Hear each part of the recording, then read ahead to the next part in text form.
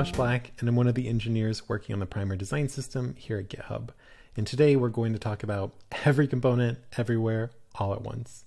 But before we get there, we'll spend just a little bit of time talking about Primer, explain what it is, and how we think about design systems here at GitHub. Next, we'll dive into components, talk about how teams can use them, and how the Primer team thinks about component usage across GitHub. Finally, we'll mash all of these ideas together to better understand how we can see all of this component usage all at once. So to get started, let's talk about Primer.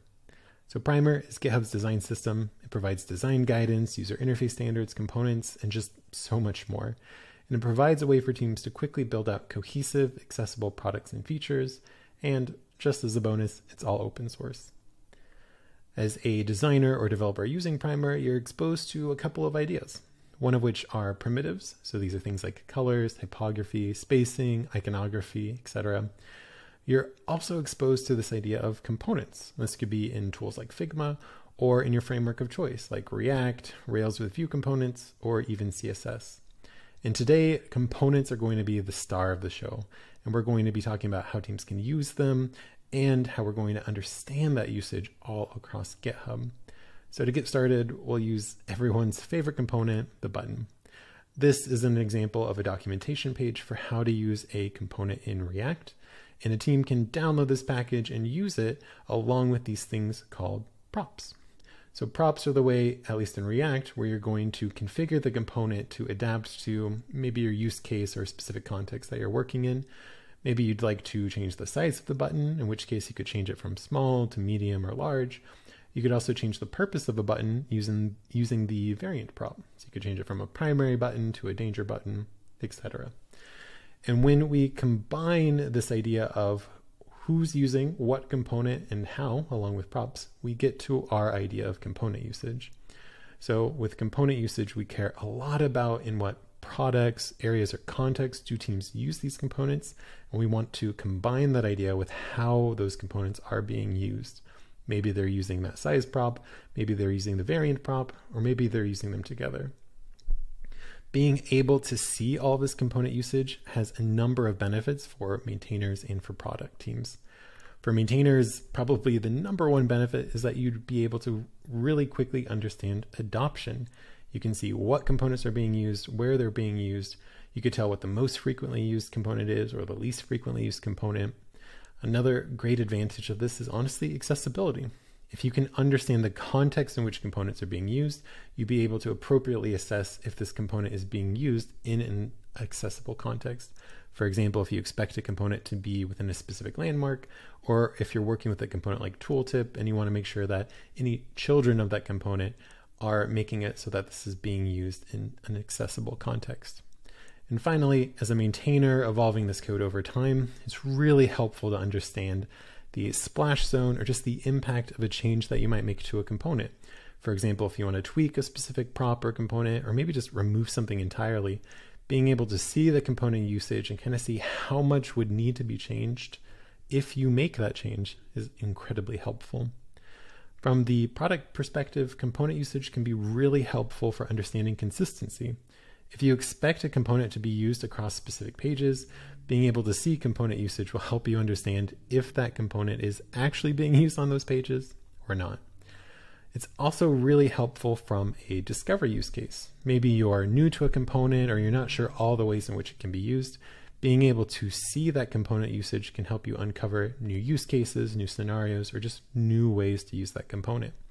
And finally, very similar to that splash zone idea, being able to see all the ways in which a component can be used is really helpful if you want to ship a change and you want to ship that change with confidence so that you know you're not accidentally breaking another team. So this is great. We would love to have this component usage information. It helps a ton from the maintainer perspective and the product perspective. So, what's the catch? And really, that leads us to our fundamental question of well, how do we do this? Because there are several key challenges that come up when we start to approach this problem. And really, the first one is just analysis. So, how do we actually download all, all of these different projects and these files and actually parse the code in a way to understand the component usage? That we've been talking about. Next up, any process that we pick, well, it kind of needs to work for any project that's using Primer. So it really needs to work at scale. Finally, if we get all of this information, well, how do we actually combine it together so that anyone across GitHub can search and use this data? And this is where we get to the fun part, bringing everything together all at once. And it starts with four-ish core ideas. These, these include things like repositories. So once again, these are those projects and files that are actually using Primer. We have packages, and this is what the Primer team ships for teams to actually download, install, and use um, that offer things like components. We have the components themselves and the way teams can configure them, which are props. And when we're talking about all at once here and we're talking about these ideas, we're trying to combine them again, combine them together once again to answer two big questions for usage. Where are these components being used and how are they being used? So to do this, we ended up building a tool. If you're a hubber, you can access it at gh.io slash primer-query. And we're going to go and look at this tool and see some of the common queries that we can use to answer some of these component usage questions all at once. So I'll open this up. And here you can see primer query. On the top part of the page is the query bar. The search syntax is very similar to the GitHub flavor search syntax. On the left hand side is this kind of summary sidebar, and it will give you a summary of all those different ideas that we were talking about earlier, like repositories, components. In this case, we have attributes, but you can think of those as props, and it will be automatically updating every time the query changes. So let's actually get started by searching across every repo in the primer org. So these are all open source repos, and we can see as soon as we typed in that query that the whole view gets updated and it's going to tell us a summary of this query.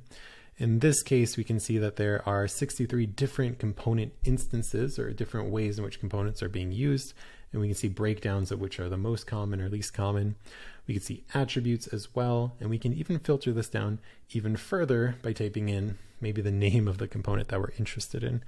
So we'll use our favorite component button. And here you can see that it filtered down just a little bit more than what it was before, but unfortunately it's matching not just button, but other things. So by default, these matches are a little bit fuzzy. And if you'd like to have an exact match, well, you can wrap this whole thing in double quotes. And now we can see a breakdown of how the button component is used across all the repos that we're collecting information for in the primer org. We, so we can see things like the different attributes being used. We can see the repos from which we see button being used, and we can see the packages, in this case, the primer React package. We could filter down even further by maybe looking for that variant prop. So in this case, we'll use attribute variant to find that prop. And now we can see all the ways in which the variant prop is being used across, in this case, two repos in the primer org. And the best part is say we were really curious about a specific usage, well, we have a link to the file that when we open will actually go directly in code to where that component is being used, which is great. So a lot of these examples were for the Primer React package, but maybe you're curious about another package. In this case, we'll talk about Octicons and Octicons React. So we could clear this whole search and look for Primer Octicons React. And now we have another query, and in this case, it's telling us all the different ways icons are being used across, in this case, the Primer org. Similar to searching for the variant prop, let's look for, in this case, size. And we can see all the different ways size is being used. Once again, when you go into the file, we can see exactly where it's being used. So in this case, we are looking across the primer org, but this also works across the GitHub org. So let's dive into a public GitHub repository called GitHub Docs. And we can see that once again, we have all of these results showing up across different packages for this specific project. And we can do the same kind of queries that we were doing before. Let's grab button in this case. And we can see once again the fuzzy match matches a bunch of different components. And we can see in the summary sidebar, side, sidebar here that icon button is used a ton. So we could refine the search. Maybe we'll look for icon button. And we can see all the different ways that it's being used. Maybe we're interested in accessibility. So we want to see all the different ways the ARIA attributes are being applied to this button. So we'll say attribute, aria, and then we can see a breakdown of kind of any prop with the aria dash prefix being used on icon buttons. And so yeah, this query tool has a number of different ways to interact with different repos, different components. You can filter things down, you can use different packages, and you can see directly in the project how components are being used. So, if you're interested in learning more about this and you're a hubber, definitely join us over at Primer React. We'd love to answer any questions that you might have or talk more about this. And yeah, that's everything that I have today for you. Thanks so much for listening.